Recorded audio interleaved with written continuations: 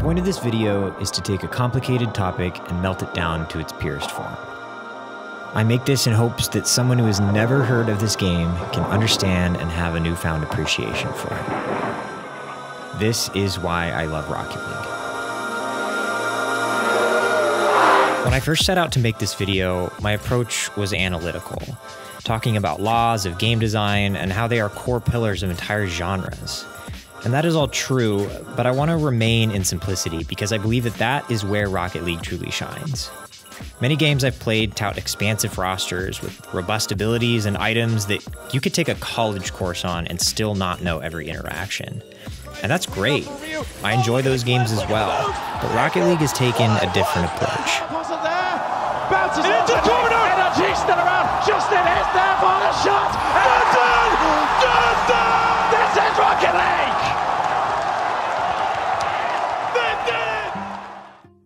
The game truly breaks down to a few things, starting with maneuvering your car forwards, reverse, left, right. There's a handbrake, which in Rocket League physics just means your tires get slippery. You can jump, double jump, roll, and flip in a direction if you so choose.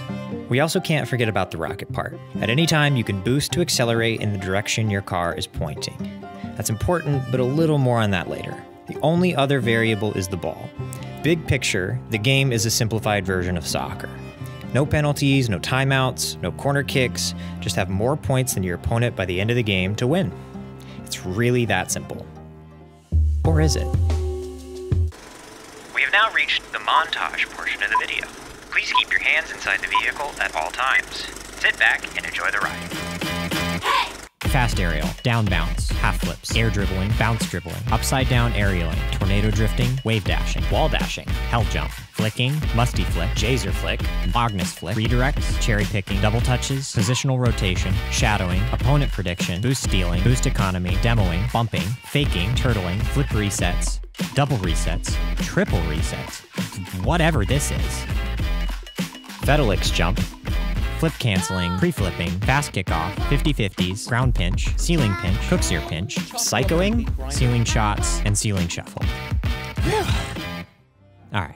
Where I and countless others have been caught in Rocket League's gravitational pull is how the simplicity plays out. Instead of forcing depth onto the player, it's a process of inviting discovery, a living set of tools that flourishes with your ability to think outside of the box, inside of a box of infinite possibilities. Nearly every scalar mechanic that was just shown was dreamt up or invented by someone in the community, from shadowing and faking to flicks and pinches to redirects and air dribbling. Rocket League has evolved with its player base. Something that highlights this perfectly is how flip resets came to be. Rocket League released July of 2015 and was still getting its wheels. Nearly every mechanic shown earlier did not yet exist.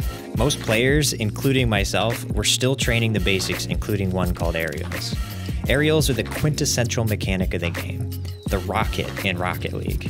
It looks deceptively easy, but takes many hours of practice to consistently hit the ball, much less place the ball where you want it. But this single aspect changes everything at a fundamental level. Why wait for the ball to reach the ground when you can fly up to meet it? You can now reach nearly every area on the field from any other point. Attack the ball from infinite directions. No longer are you bound to just your wheels. The field is your oyster, and flying is the pearl. Which brings us to flip resets. In 2016, players were getting more adventurous.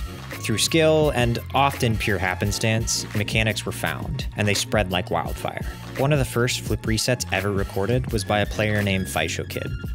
See that? That. Right there. That was it. Whenever leaving the ground, there is a window of approximately 1.5 seconds in which you can jump again. After that, it's taken away. The only way to get your double jump back is by having all four wheels touch a surface. The ground, ceiling, and walls were old news. Fyshokid and others had found that if you hit all four wheels on the ball, they could flip again, thus creating the flip reset. But simply knowing how to do it is less than half the battle. From personal experience, I've practiced this technique for years and rarely can I pull it off. And yet, there's people that can do this. justify this with numbers, it would take a really long time. but see if you can explain why this makes sense in just one sentence. Okay. Next up, I'll be relating the idea of linear transformations covered so Wait. far to one of the areas where Okay. linear Wait, I'm in the I middle of a don't world record, I- Posy. Shut up. equations. See you then. Yes! Let's go! Yes! Oh, wait, Let's go! You? I don't know why I'm freaking out so much about this one. I've just been practicing like three hours a day every day. Rocket League started as a simple party game, of which it still is, but has evolved with its player base into one of limitless depth. Its complexity is rooted in its simplicity. However deep down the rabbit hole you want to go is up to you. So I have 2,500 hours in a game that, from the outside, just looks like child's car soccer. Which it is. It's also fun.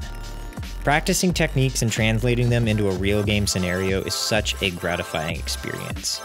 In a game of infinite possibilities, more tools in your bag translates to options for any one situation. It's a masterful idea, beautifully executed, that has grown with its community into something truly special. Now, if only they'd release more than just cosmetics. Oh, the bumping!